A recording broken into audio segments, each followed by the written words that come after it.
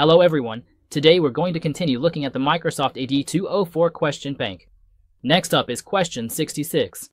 For question 66, we're preparing to deploy an application based on Microsoft virtual machines. The virtual machines running this application need to meet the following requirements. First, when our VM is deployed, our firewall must be automatically configured before it accesses Microsoft Cloud resources. We must use a PowerShell script stored in Microsoft Storage to install the knowledge service. We need to meet these requirements. So here, if we need to meet these requirements, which feature should we use? That's what this question is asking. So of course, here, which one should we choose for configuring the firewall first? We need to use our run command.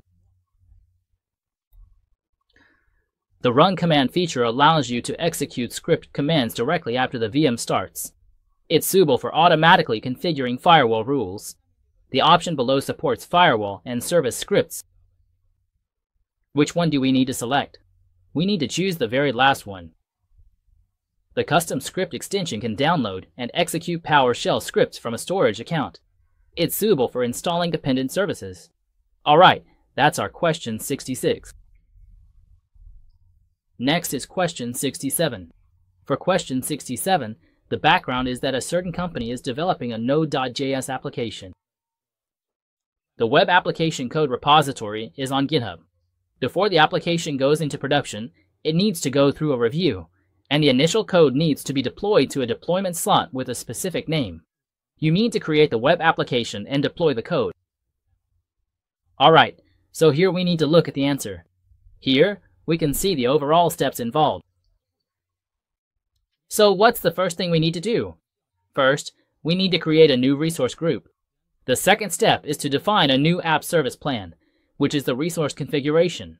The third step is to create the web application. The font here is a bit small, so let me point it out for everyone. The first step is to create our resource group, right here. The first step and then the second step is to define the app service plan. We're doing that here. The third step is to create the main web application, which is our web app. The fourth step is to create a deployment slot named review. We're doing this in the AZ Web App slot right here. Alright, this is our first question, number 67. Basically, it's just asking you to put things in order. Here, it's really just about arranging the overall creation steps in the correct sequence, because all four options are the same. Each of the four slots contains the same four options, so what they're really testing here is your ability to put them in the right order. Alright, this is our question 67. Now, let's move on to question 68. For question 68, we're accessing an application on a Microsoft Cloud VM, and its lifecycle must be associated with the VM instance. We need to enable managed identity for the VM. So which option do we need to choose here?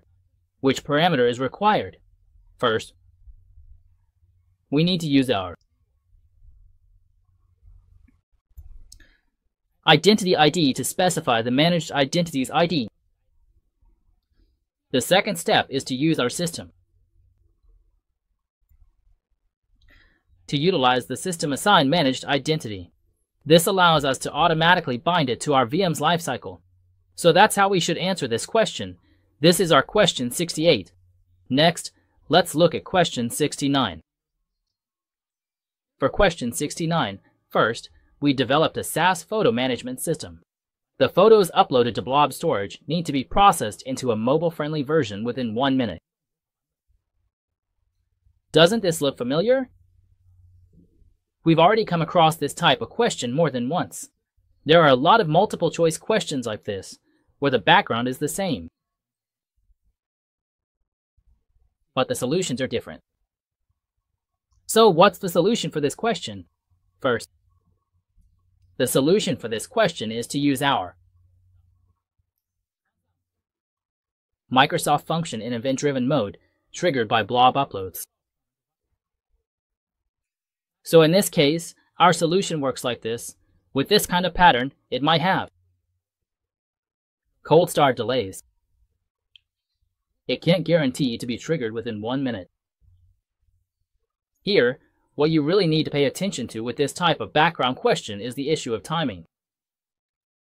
If your delay is relatively low, generally you can use something with higher latency like this. Yeah, cold start delays mean it can't guarantee to trigger within one minute. Yeah, that would result in an error. So this is our question number 69. The answer is B. Timing is quite important here. For this question, timing is the most crucial factor. It's the mobile-friendly version, right? The mobile version needs to trigger within one minute. That's the key point of this question. This is our question 69. We've come across a lot of questions like this, right? We've already seen many of them, so when you're memorizing, make sure not to mix them up. If you do mix them up, right? Or you could do it like this. So, after you've gone through the entire question bank, if you have a strong impression of this type of question, you can set them aside separately. For this type of question, we can filter them out separately. Actually, the filtering method is very simple, right? You can use keywords, for example, SS photo. That's the keyword for this question, right? It's unique. With this keyword, what can we do? Take this. All the content. Filter it out. After filtering it out, you just need to remember the correct answer. So who are we talking about here? Event Grid. This one absolutely guarantees low latency. As for the others, most of them can't guarantee low latency, which leads to mistakes. You can just remember the correct answer, and for any others you come across, just mark them as wrong. That's also a valid approach, because there are many types of questions like this, and the correct ones are relatively fewer while the incorrect ones are more common. So just memorizing the correct answers will be more helpful for your memory. This is our 69th question. There are just too many questions with the same background like this. So here, we can share with everyone another relatively simple method. Let's bring it in and look at question 70. Question 70 is a true or false question. We need to deploy the API application into a slot name deployment and enable auto swap in the production slot. We also need to make sure that the pre-swap script is executed and the slot is ready before swapping. So what is the required solution? Its configuration website swap, and website swap. These two are basically one is. One is the path, the route, and the other is our sitters, which points to the status check method. These two are our solutions. Then, these two settings will enforce pre-swap warming. And they use our HTTP request to verify whether the application is ready. So, this is basically using application settings to perform a health check before swapping. Therefore, these two solutions are correct. So the answer is B.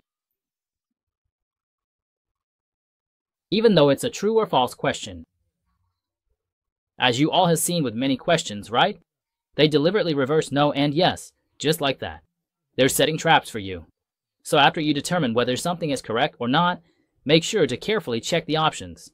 It's not always that A is yes and B is no. They often switch them around. We've seen this in a lot of questions, right? So here, everyone really needs to pay attention. Don't fall into their traps. Alright, this is our 70th question. If you need the complete question bank, leave a comment below to get the most reliable question bank at the best price. That's all for today. Bye bye.